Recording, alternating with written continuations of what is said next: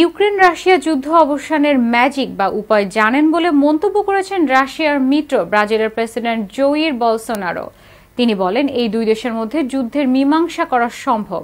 এ বিষয়ে ইউক্রেনের president Vladimir জেলোনিস্কিকে পরামর্শও দেবে বলে মন্তব্য করেন তিনি।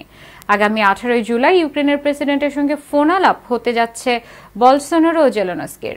উত্তর পূর্বাঞ্চলীয় রাজ্য মারানহাউ সফরে গিয়ে সাংবাদিকদের সঙ্গে আলাপকালে জয়ীর বলসোনারো বলেন, আমি তাকে আমার মতামত জানাব, আমি যা মনে করি।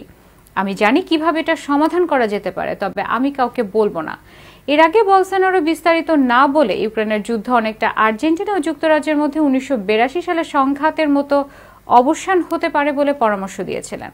উনিশশো সালে দক্ষিণ আটলান্টিকের ফকল্যান্ড দ্বীপের সার্বভৌমত্ব নিয়ে যুদ্ধে জড়িয়ে পড়ে আর্জেন্টিনা ও যুক্তরাজ্য।